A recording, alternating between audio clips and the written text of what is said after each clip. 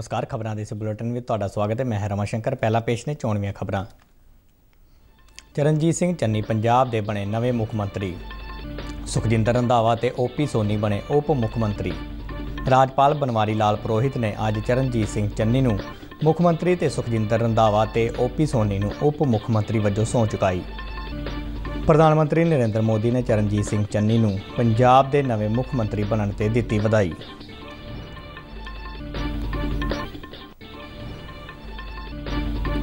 ਦੇਸ਼ ਭਰ ਵਿੱਚ ਗੈਰ ਸੰਗਠਿਤ ਕਾਮਿਆਂ ਦਾ ਈ ਸ਼ਰਮ ਪੋਰਟਲ ਤੇ ਹੁਣ ਤੱਕ 1 ਕਰੋੜ ਤੋਂ ਵੱਧ ਪੰਜੀਕਰਨ ਹੋ ਚੁੱਕਿਆ ਹੈ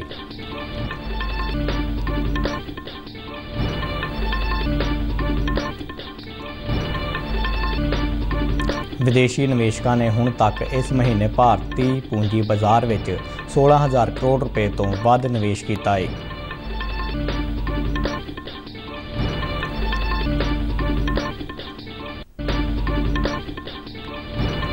ਵਿਦੇਸ਼ ਮੰਤਰੀ ਡਾਕਟਰ ਐਸ ਜੈਸ਼ੰਕਰ ਨੇ ਸਾਊਦੀ ਅਰਬ ਦੇ ਵਿਦੇਸ਼ ਮੰਤਰੀ ਨਾਲ ਅਫਗਾਨਿਸਤਾਨ ਦੇ ਵਿਕਾਸ ਤੇ ਹੋਰ ਮੁੱਦਿਆਂ ਬਾਰੇ ਵਿਚਾਰ ਵਟਾਂਦਰਾ ਕੀਤਾ।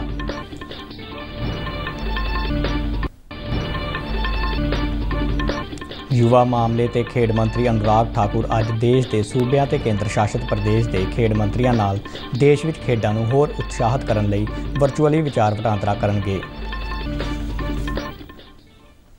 ਤੇ ਹੁਣ ਖਬਰਾਂ ਵਿਸਤਾਰ ਨਾਲ। ਪੰਜਾਬ ਕਾਂਗਰਸ ਦੇ ਸੀਨੀਅਰ ਨੇਤਾ ਚਰਨਜੀਤ ਸਿੰਘ ਚੰਨੀ ਸੂਬੇ ਦੇ ਅਗਲੇ ਮੁੱਖ ਮੰਤਰੀ ਬਣ ਗਏ ਨੇ। ਰਾਜਪਾਲ ਬਨਵਾਰੀ ਲਾਲ ਪ੍ਰੋਹਿਤ ਅੱਜ ਸਵੇਰੇ ਉਹਨਾਂ ਨੂੰ ਮੁੱਖ ਮੰਤਰੀ ਦੇ ਅਹੁਦੇ ਦੀ ਸਹੁੰ ਚੁਕਾਈ। ਚਰਨਜੀਤ ਸਿੰਘ ਚੰਨੀ ਨੇ ਪੰਜਾਬ ਦੇ 17ਵੇਂ ਮੁੱਖ ਮੰਤਰੀ ਵਜੋਂ ਹਲਫ ਲਿਆ। ਉਹਨਾਂ ਨੇ ਸਹੁੰ ਪੰਜਾਬੀ ਵਿੱਚ ਚੁੱਕੀ। ਉਹਨਾਂ ਨਾਲ ਸੁਖਜਿੰਦਰ ਸਿੰਘ ਰੰਧਾਵਾ ਤੇ ਓਪੀ ਸੋਨੀ ਨੇ ਉਪ ਮੁੱਖ ਮੰਤਰੀ ਵਜੋਂ ਸਹੁੰ ਚੁੱਕੀ। ਸਹੁੰ ਚੁੱਕ ਸਮਾਗਮ ਵਿੱਚ ਕਾਂਗਰਸ ਨੇਤਾ ਰਾਹੁਲ ਗਾਂਧੀ ਸ਼ਾਮਲ ਹੋਏ। ਕੈਪਟਨ ਅਮਰਿੰਦਰ ਸਿੰਘ ਸਹੁੰ ਚੁੱਕ ਸਮਾਗਮ ਵਿੱਚ ਸ਼ਾਮਲ ਨਹੀਂ ਹੋਏ। ਚਰਨਜੀਤ ਸਿੰਘ ਚੰਨੀ ਪੰਜਾਬ ਦੇ ਪਹਿਲੇ ਅਨੁਸੂਚਿਤ ਜਾਤੀ ਨਾਲ ਸੰਬੰਧਿਤ ਮੁੱਖ ਮੰਤਰੀ ਨੇ। ਇਸ ਤੋਂ ਪਹਿਲਾਂ ਕੱਲ ਚਰਨਜੀਤ ਸਿੰਘ ਚੰਨੀ ਨੂੰ ਕਾਂਗਰਸ ਵਿਧਾਨਕਾਰ ਪਾਰਟੀ ਦੇ ਨੇਤਾ ਵਜੋਂ ਸਰਬਸੰਮਤੀ ਨਾਲ ਚੁਣਿਆ ਗਿਆ ਸੀ। ਇਸ ਦੀ ਜਾਣਕਾਰੀ ਪੰਜਾਬ ਮਾਮਲਿਆਂ ਬਾਰੇ ਇੰਚਾਰਜ ਹਰੀਸ਼ ਰਾਵਤ ਨੇ ਇੱਕ ਟਵੀਟ ਕਰਕੇ ਦਿੱਤੀ ਸੀ। ਚਰਨਜੀਤ ਸਿੰਘ ਚੰਨੀ ਨੇ ਨੇਤਾ ਚੁਣੇ ਜਾਣ ਤੋਂ ਬਾਅਦ ਰਾਜ ਭਵਨ ਜਾ ਕੇ ਰਾਜਪਾਲ ਨਾਲ ਮੁਲਾਕਾਤ ਕੀਤੀ ਤੇ ਆਪਣਾ ਦਾਅਵਾ ਪੇਸ਼ ਕੀਤਾ। ਚਰਨਜੀਤ ਸਿੰਘ ਚੰਨੀ ਚਮਕੌਰ ਸਾਹਿਬ ਵਿਧਾਨ ਸਭਾ ਹਲਕੇ ਤੋਂ ਵਿਧਾਨਕਾਰ ਨੇ ਤੇ ਕੈਪਟਨ ਅਮਰਿੰਦਰ ਸਿੰਘ ਵਾਲੀ ਸਰਕਾਰ ਵਿੱਚ ਉਹ ਤਕਨੀਕੀ ਤੇ ਸਨਅਤੀ ਸਿਖਲਾਈ ਬਾਰੇ ਕੈਬਨਿਟ ਮੰਤਰੀ ਸਨ।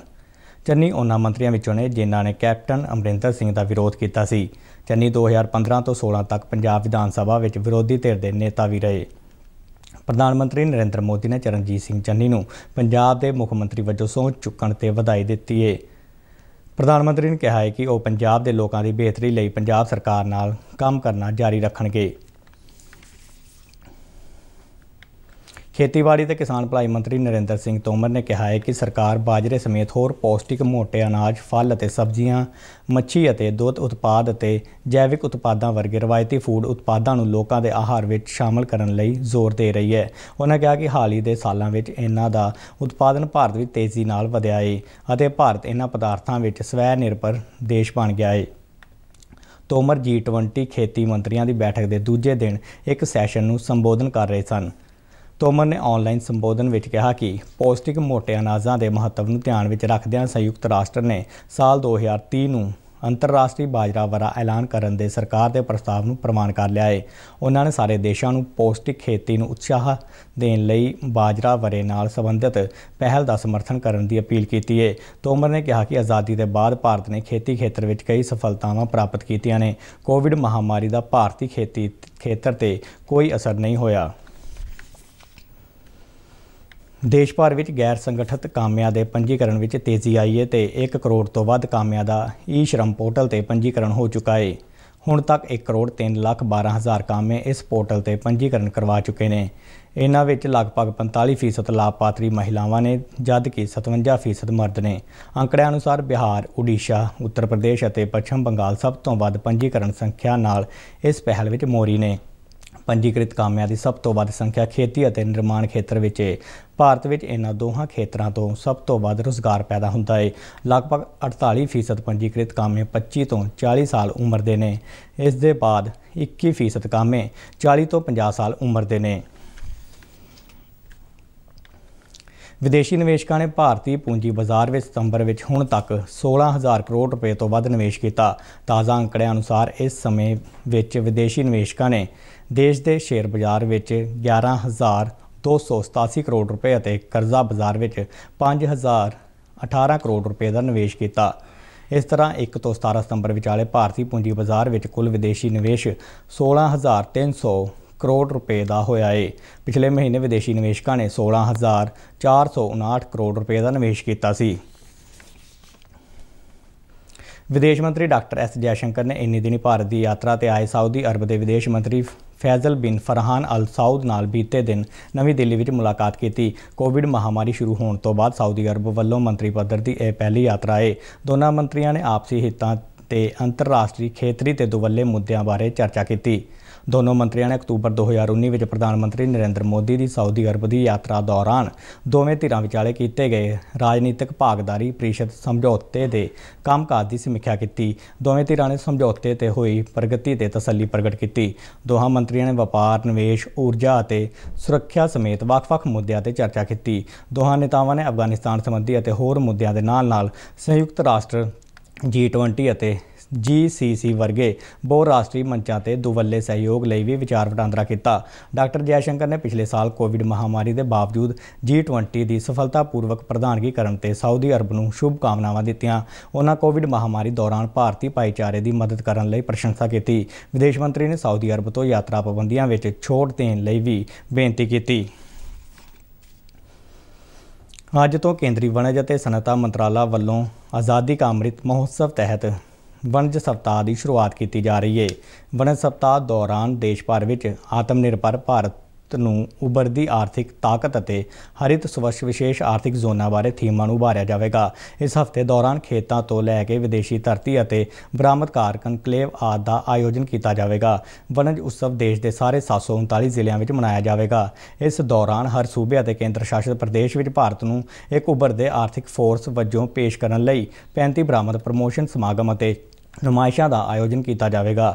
ਸਨਅਤੀ ਪ੍ਰਮੋਸ਼ਨ ਅਤੇ ਅੰਦਰੂਨੀ ਵਪਾਰ ਵਿਭਾਗ ਵੱਲੋਂ ਰਾਸ਼ਟਰੀ ਸਿੰਗਲ ਵਿੰਡੋ ਪ੍ਰਣਾਲੀ ਅਤੇ ਸਨਅਤੀ ਪਾਰਕ ਦਰਜਾਬੰਦੀ ਪ੍ਰਣਾਲੀ ਲਾਂਚ ਕੀਤੀ ਜਾਵੇਗੀ।